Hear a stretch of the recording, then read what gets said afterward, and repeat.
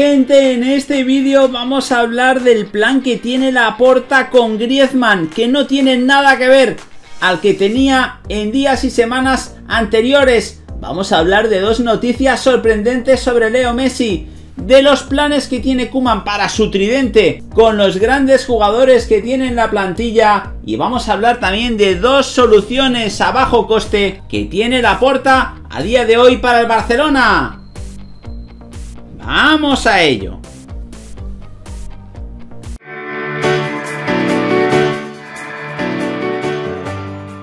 Hola de nuevo gente, ¿cómo estáis? Bienvenidos de nuevo a otro vídeo para el canal. Vamos a analizar la última hora del Fútbol Club Barcelona y vamos a hacerlo con varias noticias. Por tanto, te animamos a que te quedes hasta el final del vídeo a que nos dejes un buen like y a que le deis a la campanita de notificaciones.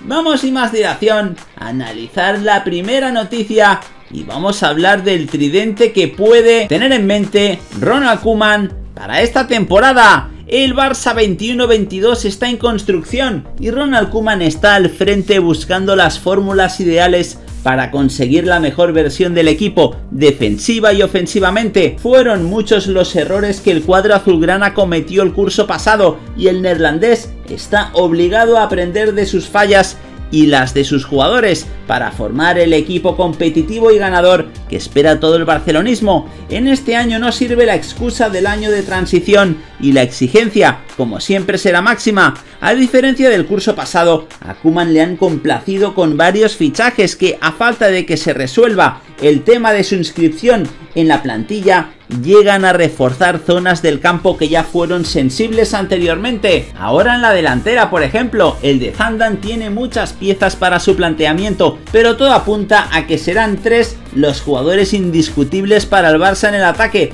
al menos en el comienzo de la Liga Santander. Memphis Depay, Leo Messi y Antoine Griezmann están llamados a liderar la ofensiva de los azulgrana con la incertidumbre del futuro del francés y entre otras cosas conseguir la inscripción de sus otros dos compañeros y el resto de fichajes. Así pues, dejando a un lado lo que se discute en las oficinas del Camp Nou, Koeman tiene a los tres futbolistas apuntados para ser titulares, volviendo al clásico 4-3-3 en el planteamiento. Son evidentemente tres jugadores con mucha calidad y con gol en sus botas, pero tienen un punto en común, muy marcado, que puede ser un arma de doble filo para el Barça. Juegan y se asocian por dentro, sembrando la duda de si, en vez de brillar como el nuevo tridente estrella azulgrana, terminarán entorpeciéndose entre sí dentro del campo. Ya en el curso pasado fue más que notorio que Griezmann y Messi no combinaban cuando el Barça jugaba con 4-3-3 algo que cambió con la revolución táctica del entrenador neerlandés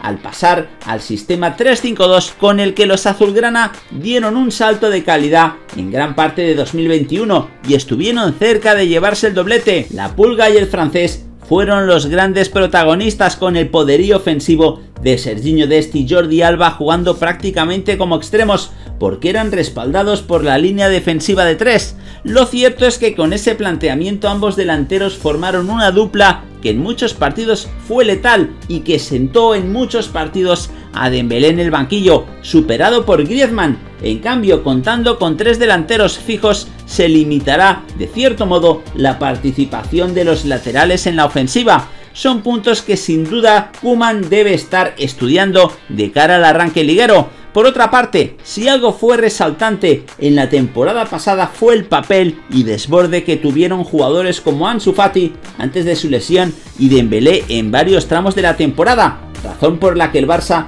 quiere renovarle.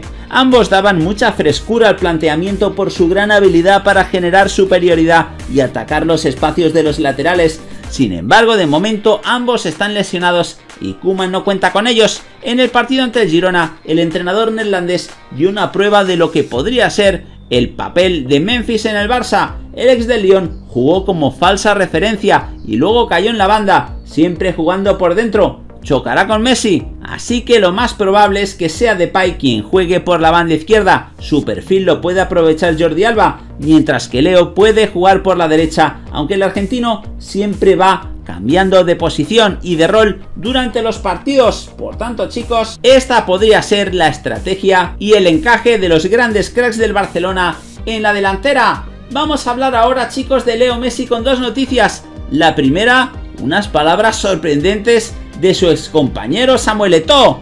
Y es que el camerunés siempre fue un jugador de carácter y con amor propio, autor de dos goles decisivos en dos de las cinco exitosas finales de la Champions League conquistadas por el Barça, el exdelantero camerunés destacó por una ambición que sin embargo supo combinar con su servicio al colectivo, admirador declarado de Messi y su incomparable trayectoria, como ha dejado claro a lo largo de muchas declaraciones, Eto corrigió no obstante a un periodista que le recordó que él había jugado con Messi y le dijo no no, Messi jugó conmigo, yo no jugué con Messi. En mi época, Messi jugaba conmigo. Es diferente, es totalmente diferente. Subrayó a ESPN Eto con una sonrisa. Sin hacer explícito el argumento, resultó obvio el mensaje que quiso dejar hacer esta vez el León Indomable. La jerarquía estaba de su parte en el momento en el que Messi aterrizó en el primer equipo formando parte de un demoledor ataque junto al propio Eto y Ronaldinho Gaucho. Luego Messi se hizo tan grande que salvo sorpresa va camino de su séptimo balón de oro. Pero aquí dejamos las palabras sorprendentes de Eto. Yo no jugué con Messi. En mi época, Messi jugó conmigo.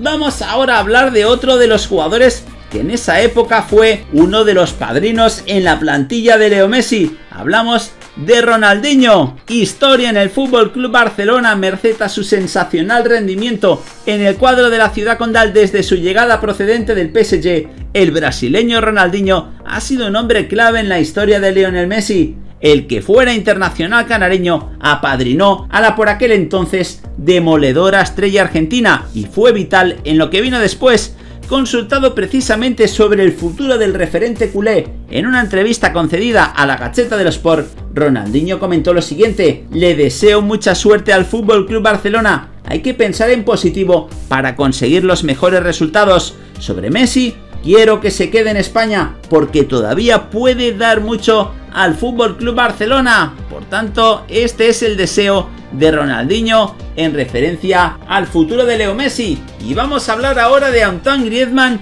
y el cambio de planes que tiene la porta para el francés. La situación en el Camp Nou no mejora. El Barça que está jugando partidos de pretemporada para ir preparándose para el comienzo de la liga sigue sin concretar las ventas o salidas necesarias para poder bajar la masa salarial e inscribir ante la liga a Lionel Messi y a las nuevas incorporaciones del mercado de fichajes de verano, Eric García, Sergio Agüero, Memphis Depay y Emerson Royal. Y hasta que no haga lo primero, no podrá concretar la continuidad de su capitán y estrella, quien quiere quedarse y está dispuesto a bajarse el salario para hacerlo. Una de las ventas más importantes que tiene que cerrar el conjunto azulgrana es la de Antoine Griezmann, uno de los jugadores con valor de mercado más alto de la plantilla y uno de los que más cobran el club. El principal problema es que el francés no quiere irse del Barça a menos que sea al Atlético de Madrid, pero el colchonero no hará una inversión para comprarlo y pagar todo su salario actual y no tiene jugadores que interesen a la directiva blaugrana para finiquitar un intercambio. La situación es muy complicada y a menos que llegue otro club importante para intentar convencer al jugador, todo parece indicar que su salida solo se concretaría si el Barcelona lo deja ir a un precio muy bajo al Atlético, pero con la intención de no perder más talento sin recibir dinero, la directiva de la Porta tiene un plan secreto para poder quedarse con una de las estrellas del equipo, según informó el periodista Adri Fernández del diario Sport. El Barça ha hecho números y la única manera de mantener a Griezmann en plantilla es rebajar el sueldo de todos los jugadores del plantel, hasta el de él mismo. Si todos aceptan dicha situación, el conjunto Blaurana lograría cerrar las inscripciones de todos los fichajes sin problemas, sin olvidarnos que tienen que concretarse un par de salidas más. Clement Lenglet, Samuel Untiti, Martin Bradway y Philippe Coutinho. Por tanto chicos, ahora está la opción